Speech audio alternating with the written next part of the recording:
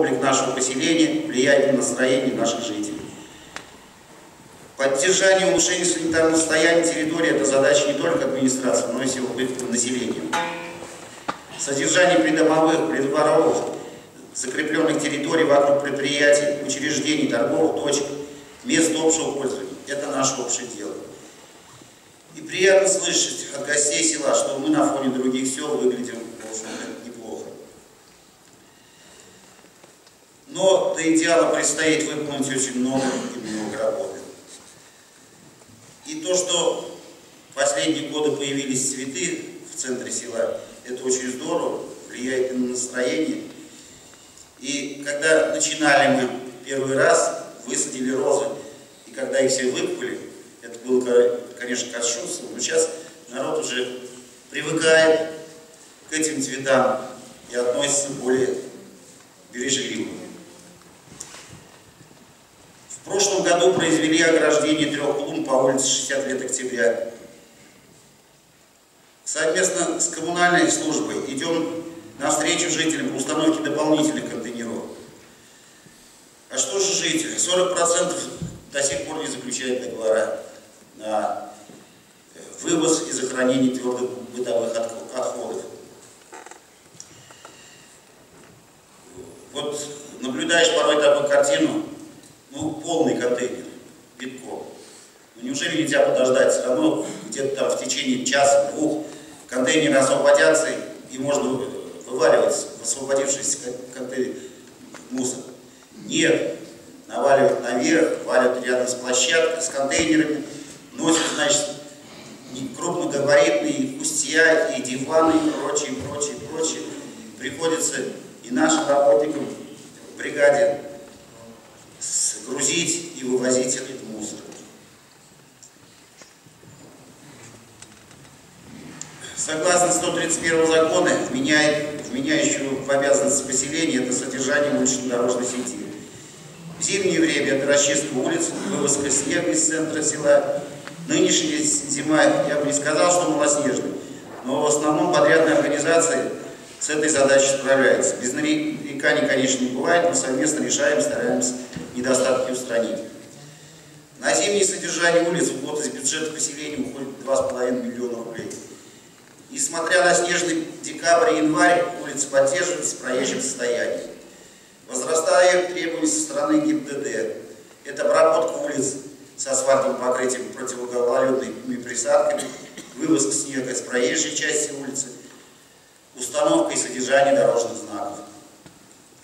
Но вместе с тем и сами жители поддержании улиц в проезжем состоянии необходимо принимать участие.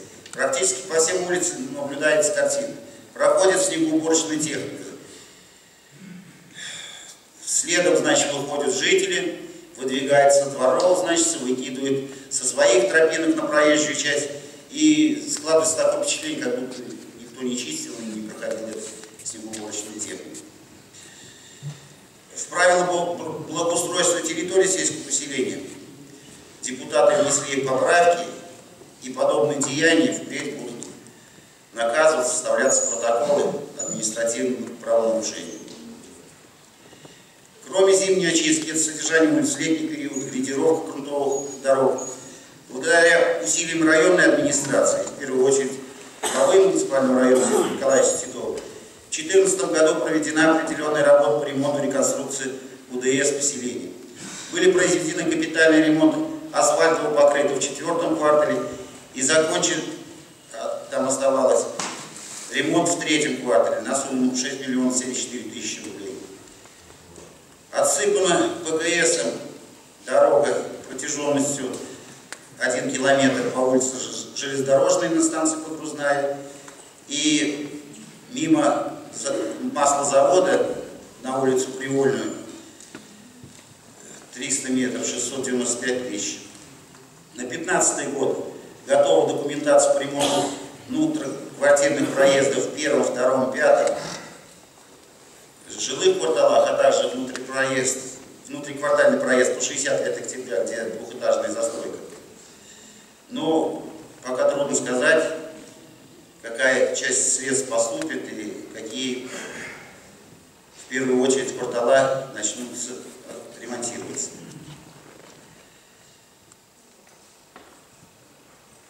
На что позволяет бюджет поселения? На 6 месяцев мы нанимаем бригаду в количестве 6-7 человек, которая занимается сбором и вывозом мусора, обкашивает сонную растительность.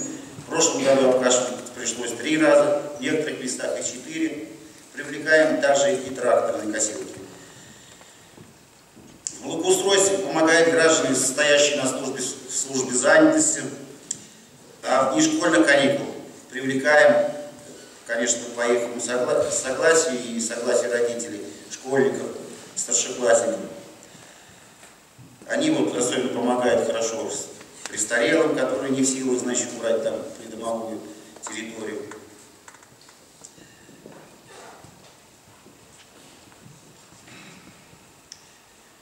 Следующая затратная часть – это уличное освещение. Всего по улицам установлено у нас свыше 500, 500 ламп. Ежемесячно вместе с объектами за потребленную электроэнергию оплачиваем до 250 тысяч рублей. За электроматериалы 10-15 тысяч. За обслуживание уличного освещения до 30 тысяч. Фонари приходят в негодность. В 2014 году выставляли на торги и приобрели 100 светодиодных фонарей, которые, конечно, и по мощности такие же практически, но экономят здорово на расходе, на расход электроэнергии.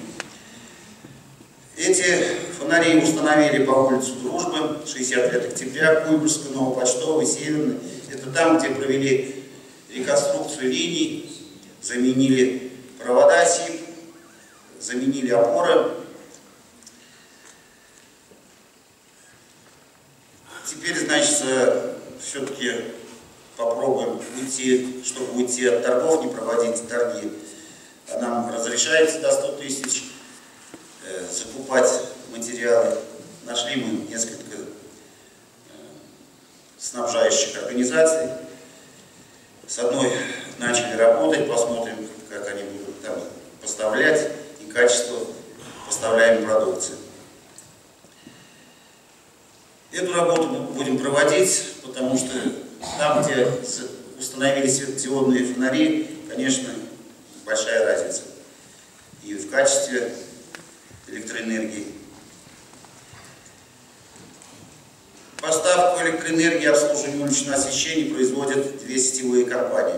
ССК ведут по своим линиям реконструкцию постоянно, меняет опоры, э, переходят на кабель СИП, безопасный, удобный для управления уличным освещением. На тех линиях, где обслуживают МРСК, а это по улице Речная, Поселковая, Привольная, Губернская, МРСК Волга, практически реконструкцией не занимается.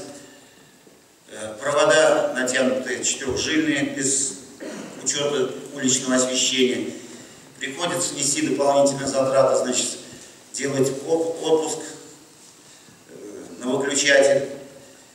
Жителям объясняем, что мы включаем вам с условием, что вы будете следить днем отключать, на ночь включать. Ну, к сожалению, на уговоры на такие они идут первое время да, выполняет эту работу, затем забрасывает. Руководство филиала МРСК Волги звонит мне, мы будем отключать, снимать фонари. В общем, сложный вопрос. При администрации сельского поселения Кошки постоянно действует собрание э, представителей из 14 депутатов. В основном это сплоченный коллектив доводит просьбы, пожелания от своих избирателей, которые включаются в план работы администрации поселения. За 2014 год проведено 14 заседаний, принято 35 решений, основные из них внесение изменений в устав поселения, внесение изменений в правила землепользования, принятие бюджета поселения на 15 плановый период 16-17 годов. Уважаемые жители поселения, в сентябре 2015 года состоятся выборы в органы местному самоуправлению. В корне меняется структура, будут избираться 15 депутатов сельского поселения, которые будут избирать председателя собрания представителей, главу поселения и делегировать двух депутатов в районное собрание представителей. Конечно, как всегда, необходима явка избирателей, ведь избираем власть на местах, с которыми вместе работать пять лет, с которыми можно спросить и совместно развивать с поселением.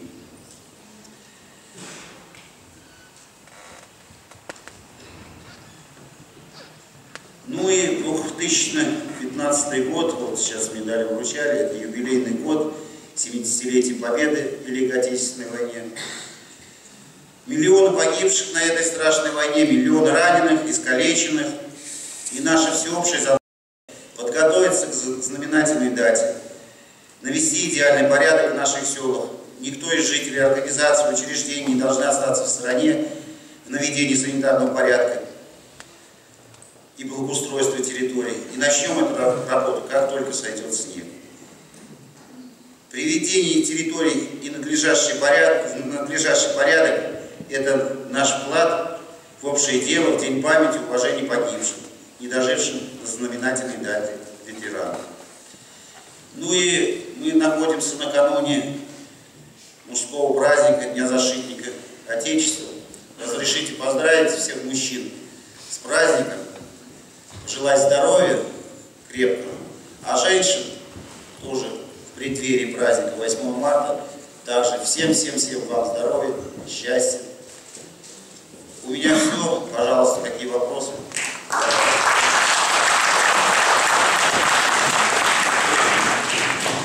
Пожалуйста, вопросы задавайте, у кого есть. Петр Петрович.